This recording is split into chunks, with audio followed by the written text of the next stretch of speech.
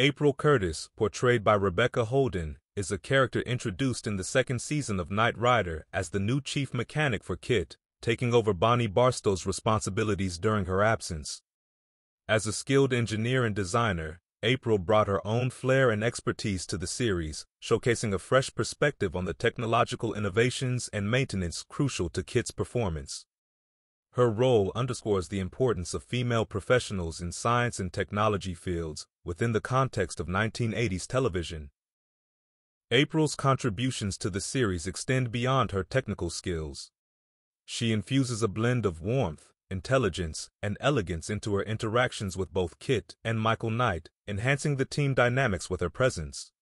Her ability to remain calm under pressure and think creatively in challenging situations reinforces the show's emphasis on problem solving and teamwork.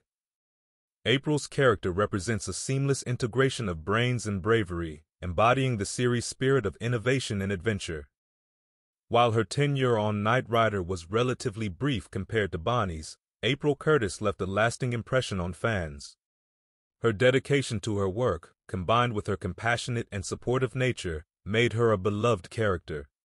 April's role in the series not only highlighted the evolving landscape of technology, but also celebrated the significant contributions of women to the fields of engineering and innovation.